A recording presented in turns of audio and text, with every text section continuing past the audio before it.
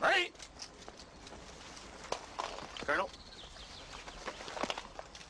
Marine, what is that button on your body armor? A peace symbol, sir. Where'd you get it? I don't remember, sir. What is that you've got written on your helmet? Born to kill, sir. You write born to kill on your helmet and you wear a peace button. What's that supposed to be? Some kind of sick joke? No, sir. What is it supposed to mean?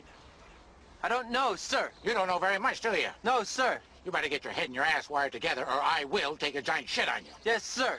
Now answer my question or you'll be standing tall before the man.